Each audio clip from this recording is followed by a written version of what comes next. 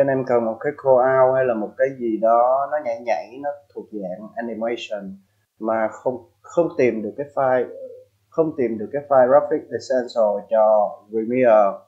Thì tự làm thôi chứ sao bây giờ? Tôi sẽ hướng dẫn ờ, anh em làm nó cực kỳ đơn giản luôn. Chỉ có vài cái layer là nó ra thôi. Và bây giờ mình sẽ thả, tạo một cái new composition nha rồi cái này là bữa trước làm cái quỷ kia là mình đứng. Ok chắc là mình làm phim đứng đi à, mà thôi làm phim ngang đi phim đứng nó cũng kỳ lắm.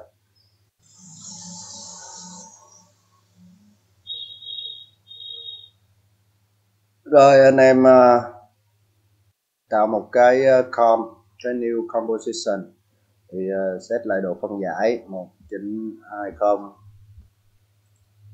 1920 1081 y80 rồi và đây là cái uh, thời gian của nó cái thời gian của cái uh, cái gì cái timeline của mình. Rồi đây là cái color background thôi tại nó đừng có quan tâm đến nó. Rồi trời thôi. 2D nhé rồi mình sẽ bước đầu tiên là mình sẽ import một cái gì đó vô làm cho nó thú vị đây.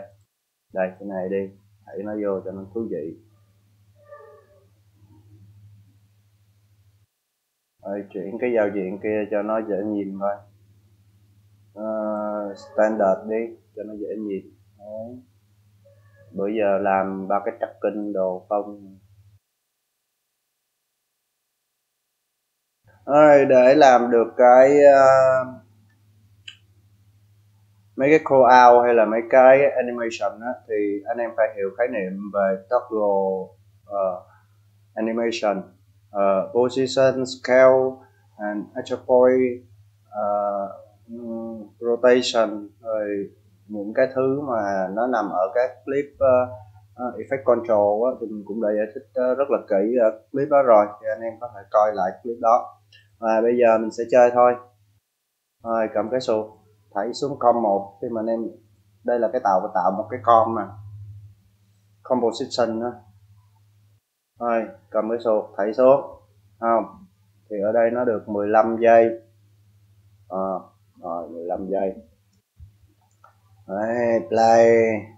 Nếu mà mấy anh em yếu á thì anh em để cái chế cái chế độ hiển thị ở ờ, uh, half third quarter gì gì đó tùy máy mạnh thì để nó cao cao tí. Điều đầu tiên chúng ta phải xác định được cái điểm đầu và điểm cuối ha. Đây là cái điểm đầu tiên là khi ngón tay vừa chạm xuống đèn sáng lên nè. Đấy sáng lên. Thì mình sẽ cho cái ờ, effect nó chạy lên. À, mình sẽ vẽ đây một cái ờ, hình chữ nhật ha. Thì mình chọn vào fill thì mình chọn cái chế độ ờ, uh, cái uh, chế độ màu của nó gì gì đó từ lưa hết ờ, radian rồi từ linh tà la hết. Kể đi những cái đó là những cái chuyên sâu tại vì cái này là cái vũ trụ, vũ trụ bao la mình cũng không có uh, rành cho lắm nên biết gì thì mình chỉ cái đó thôi. Rồi vào stroke care stroke care thì tách cái khung cái cái khung viền nó đi cho nó ấy ấy ấy rồi cái này mình nên đặt tên là gì ta? Rồi bây giờ là rồi bây giờ là cái đầu tiên mình sẽ khi cho nó chạy. Ok bấm lên một cái đèn sáng lên hết thì ảnh nhảy lên hết. Rồi sau khi tạo một cái ờ, shape layer ờ, vẽ được một cái ờ, rectangle xong. Okay, rectangle tiếng anh của mình nó cũng tào lao lắm hình chữ nhật đó thì mình sẽ mát cho nó một cái bằng cách chuột phải vào cái ờ, layer nè. Thì nó sẽ có cái mát nè new mát nè mình sẽ chọn cái điểm mát đó. Rồi mình sẽ banh mình sẽ kéo cái vùng mát này nó to hơn bằng cách uh, nhấp đúp vào cái chỗ mát á, cái cái cái vùng mát rồi mình kéo nó lên. Đấy, mình thích cái vùng mát này nó to hơn. Để chi? Để cho nó nhảy tưng lên không nó tụt xuống. Đấy. khi mà mình đã tạo xong vùng mát thì mình sẽ vào trong cái phần uh, content nha. Rồi xong rồi mình sẽ vào attribute ở ờ, đâu position. Ok. À, cái attribute này là cái điểm neo thôi. Điểm neo thì mình dùng cái tool neo này nè. Mình dời nó chọn vô cái tool neo dời nó xuống đây nè. Đó. Màu vô một vô. Rồi tiếp theo nữa là mình sẽ key cho nó. Đèn sáng lên hết ở đây. Rồi mình sẽ chọn vào cái nút đồng hồ này toggle animation. Đó, thì nó sẽ xác định đây là cái điểm cuối. Rồi ok mình sẽ về cái đầu mình đáp con chuột kéo cái dây về đầu của cái điểm mà con tay vừa mới chạm vào. Ấy. Rồi mình sẽ anh em thấy gì không? À, mình sẽ cho nó chạy ở đây. Đấy mình sẽ giấu nó xuống cái mát. Anh em coi bây giờ mình sẽ play anh em coi nha. Đấy. Không đây à, play lại cho anh em coi nè. Đấy.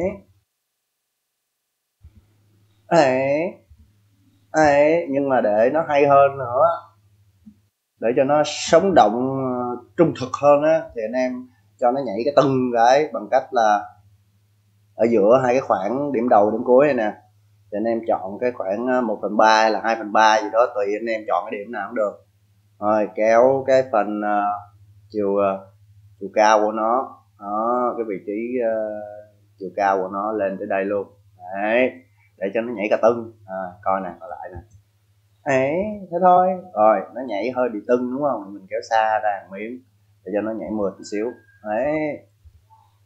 Đấy còn không thì mình mình muốn nó thời gian nó nhảy lên. Nhanh thì mình kéo cái núm ở giữa này. Về đầu. Đấy nhảy lên nhanh. nhảy lên chậm và rớt xuống nhanh. Kéo cái núm ở giữa này về cái điểm cuối. Thế thôi. Đấy. Đấy. Đấy. Nhảy cái tưng tưng tưng tưng đó ừ. rồi khi nó nhảy xuống thì mình sẽ làm cái gì nữa? Cho nó một cái chữ. Cho một cái chữ. Chữ gì đây trời thì anh em cứ chọt vào cái cái cái tool chữ nè. Ctrl T á. Rồi gắn nó lên đây thôi.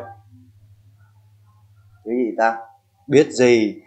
Nói này rồi Ctrl A của nó chọn cho nó cái màu cho nó, nhìn cho nó đẹp đẹp một xíu. Đấy, mình thích màu đen. Rồi xong cho cái phông nó nhỏ một xíu nữa cho nó lọt cái khung. Rồi rồi mình thích uh, rồi mình sẽ chọn một cái khung uh, một cái phông cho nó uh, đẹp đẹp một xíu. Rồi rồi. Xong rồi uh, nếu anh em muốn canh uh, cho nó ngang ngang ngang hàng thẳng lối á, thì nhấn Ctrl R nó ra cho anh cái nó ra cho anh cái thước rồi kéo nó ra. Rồi muốn canh đâu thì canh thôi còn mình thì mình làm bừa bừa đại đại cho vui rồi thôi làm biến canh lắm thì đơn giản là vậy. Nhưng muốn cầm được cái thước là không canh mình muốn cái chữ này nó thưa ra một miếng thì mình sẽ vào trong phần to mình kéo nó ra cho nó thưa ra. Rồi xong rồi à, đưa nó vào giữa thôi, mình thích vậy thôi. Đơn giản, dễ hiểu, không có màu mè. Ở đây không có giải thích tại sao này, tại sao kia. Muốn tại sao dễ lắm ấy kênh nước ngoài có rồi, vô mình xuất lên coi. Rồi, sau khi tạo xong một cái ờ, cái tách thì anh em xác định như phải xác định tiếp nữa là cái đoạn thấy cái thằng này nó vừa, cái tango nó vừa nhảy xuống nè. Tiếng anh mình tào lao kệ đi. Chữ bắt đầu lòi lên ở đây. Rồi mình sẽ cũng mát cho nó một cái nữa. Nếu mát, đấy, xong mình cũng lại kéo cái vùng mát này cho nó rộng ra để cho nó nhảy lên xíu hả? Ờ à, cũng được nó nhảy lên xíu. Đấy. mình phải thêm ở phần text này mình thêm một cái nữa là position. Đâu mình sẽ add animation ở đây nè. Mình sẽ thêm cái position thì nó cho mình được một cái position để mình rời nó. Rồi bây giờ mình xác định điểm cuối nè của cái chữ nó hiện lên nè. Đấy thì mình sẽ chọn vào trong position nhấn cho nó cái đồng hồ. Rồi mình sẽ đi xác định cái điểm đầu điểm đầu là cái điểm. Mình sẽ cho nó tụt xuống. Đấy. Rồi xong coi nè đấy. Rồi nó nhảy lên hơi chậm thì như hồi nãy. Mình sẽ đưa vào cái cái dây này. Đưa cái đường dây vô ở giữa hai cái điểm đầu và điểm cuối. Thì mình chọn cho nó nhảy lên nhảy xuống thôi. À, mình sẽ cho nó đi lên lố lên đây miếng à, sẽ rơi xuống. Nhẹ nhàng tình cảm. Ấy xong đó chưa xong đâu.